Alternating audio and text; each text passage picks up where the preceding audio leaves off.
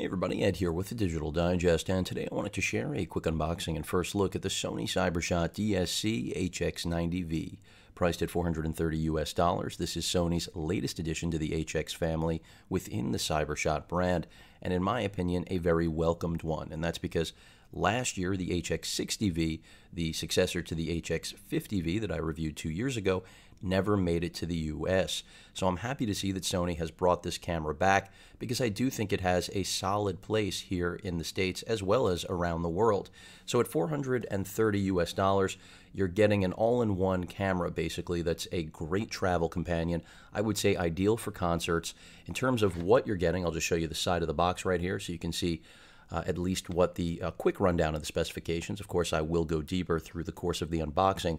Uh, it is a 21 megapixel sensor, but the actual effective use of that sensor is 18.2. Still using the Exmor R uh, brand here, and that is because it has been really successful, uh, that sensor, across all of Sony's cameras.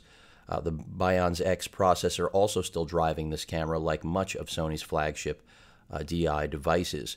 We have a 30 times optical zoom. That's an effective uh, 25 to all the way out to 750 millimeter 35 mil equivalent, which is what makes this camera really unique.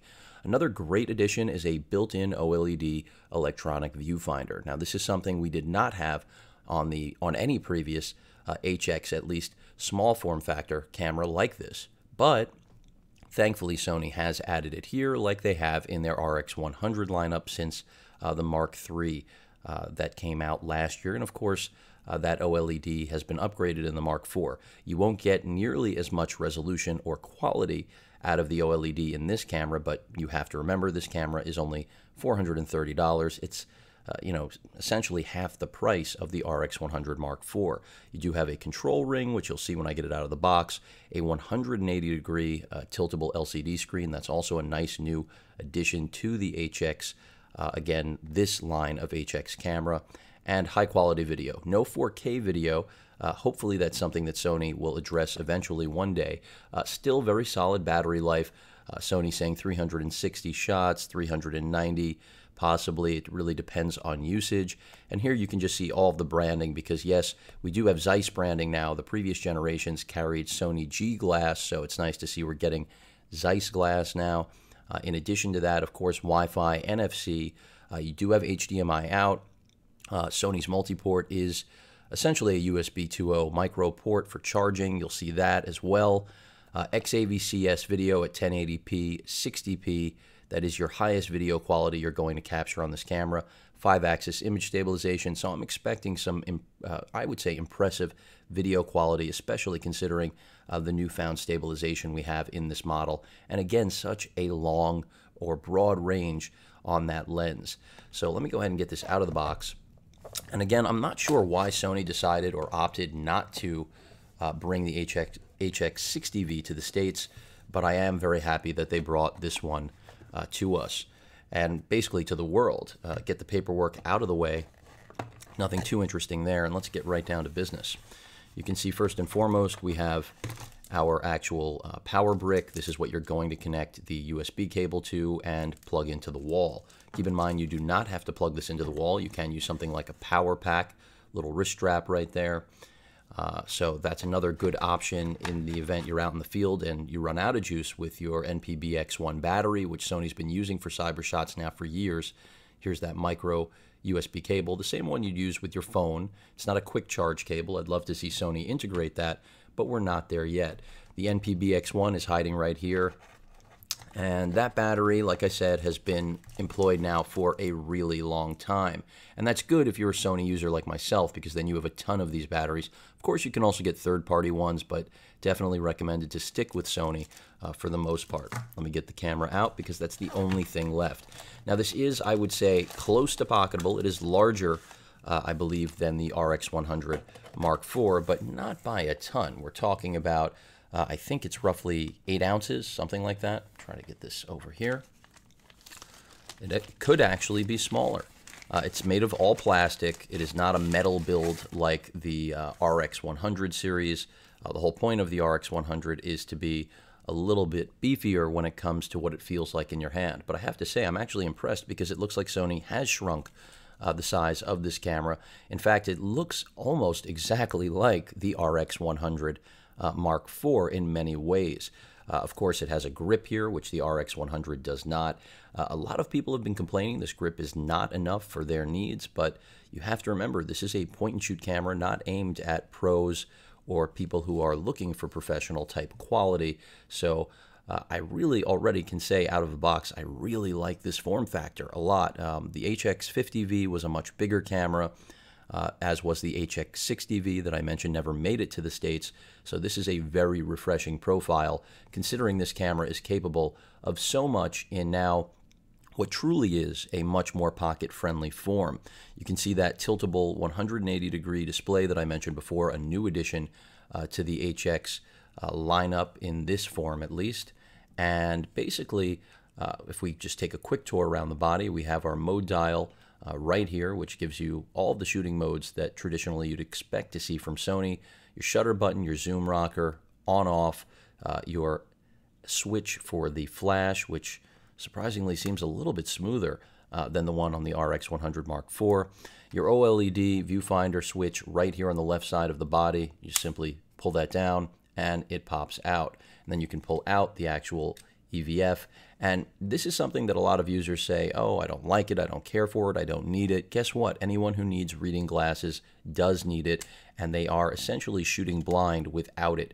Uh, so whether you're left or right eye dominant, really isn't relevant. What it comes down to is do you need it? And a lot of consumers do, and I think it's really uh, intelligent of Sony to have started adding it because they recognize that they really need to accommodate everyone, especially on a camera like this, where they're trying to get a broad range of consumer.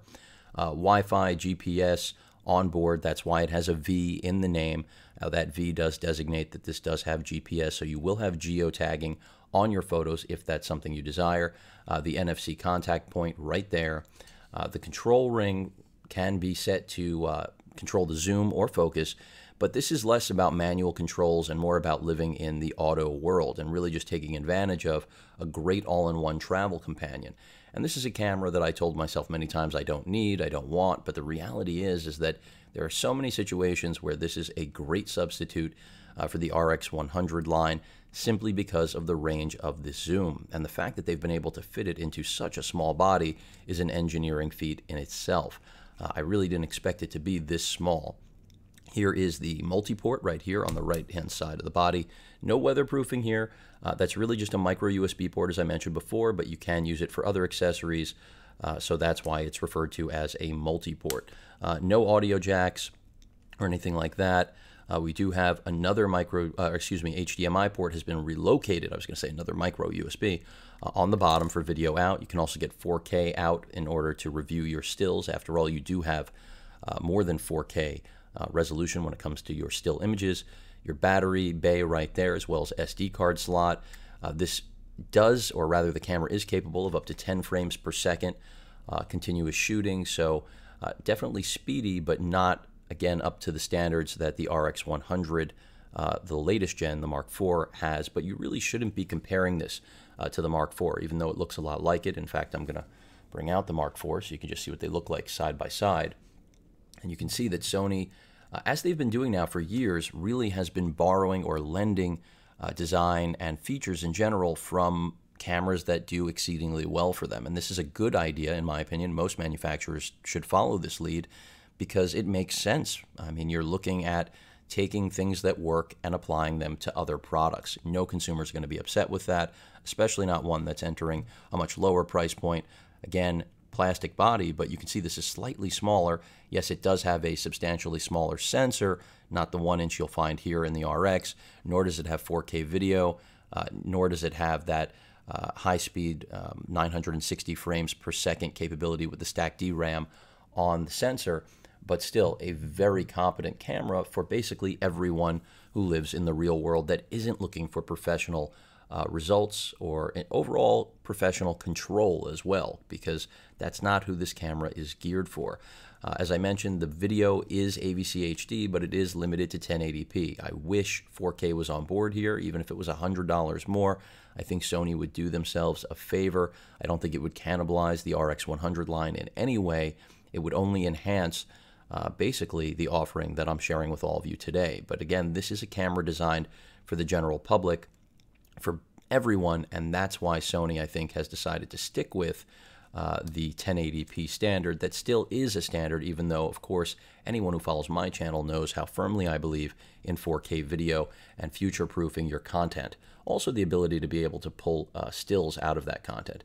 You can see right here, pretty uh, straightforward layout. The buttons haven't changed much from what you have on the RX line, and that's where this is really a big departure. Again, this does lend so much from that design in uh, regard to how Sony has reshaped, uh, really started over with the uh, HX, what was the HX50V, 60V here in the form of the 90V. So we have a video capture button, menu function, our uh, menu jog dial and select button, as well as some multiple uh, features that have always been there, flash, uh, your drive mode, timer, um, and Sony's own walkthrough feature, the question mark, that'll basically teach you how to use the camera, which I think is great for novices, people that aren't familiar with Sony alike.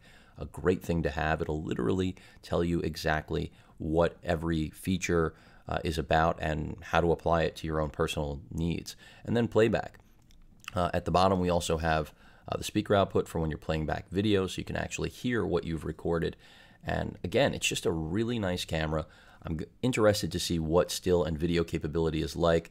In terms of features, I mentioned before that this does have five axis stabilization, which is a really big deal. You can see right here uh, 921,000 dots on the LCD. The viewfinder, uh, I think, is 630 something, so it's nowhere near the brand new upgraded OLED viewfinder that you'll find in the RX 100 or even the RX, uh, I meant Mark IV or Mark III.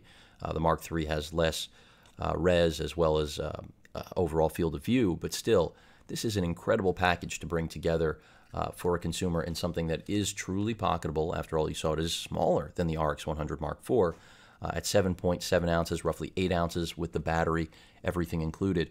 So I really like what Sony's done here. I think the price is right. I think the capabilities are just about best in class. You will not find another travel companion like this. So if you own something like the RX10, you know, something fairly larger, this is a great companion to something like that. I don't think that you need to own something like this if you have the RX 100 in any of its generations, but I could understand wanting it because if you were to travel with, let's say, two cameras like this, you've got your, in many cases, digital SLR replacement for a lot of consumers, not everyone, of course. Uh, let's not get crazy with the RX 100 line, and then also, of course, 4K video with the Mark IV. And then you have this that gives you that reach on the lens that you simply cannot accomplish uh, with any of the RX 100, uh, 100 cameras, since they're all roughly 20 to 70 millimeters, 24 to 70 millimeters. Here, 25 to 750. Then, if you employ clear image zoom, it just takes it out to over a thousand. So this is really a mega zoom in the form of a traditional compact camera, which is why I've always been a big fan, and I likely will end up, uh, you know, keeping this, uh, even though I hadn't planned to originally, simply because it does represent, in many ways, a game changer, or really the only option when it comes to a mega zoom in a compact form factor. Uh, final things uh, all of you should know beyond what I've already stated.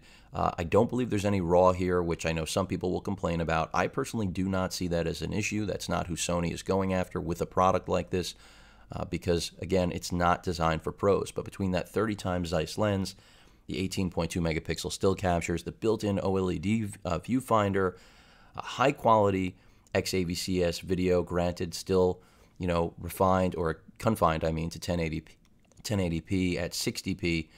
Uh, but that five axis image stabilization should make it seem like this thing is sitting on a mount. Uh, in other words, that's how stable video should be. Of course, I will be posting uh, samples of the newfound range of the LCD display uh, and really just overall enhancements across the board that I haven't even covered here uh, are all things that really make this camera a winner. Granted, I haven't tested it yet, so until I do, you know, don't jump and run out and pick one of these up unless you absolutely must have it. After all, we are in summer. But good to see the HX90V here. I missed the HX60V not coming to the States, but it looks like uh, waiting ended up paying off. Any questions or comments, please feel free to post them. And of course, as usual, please feel free to subscribe. Later.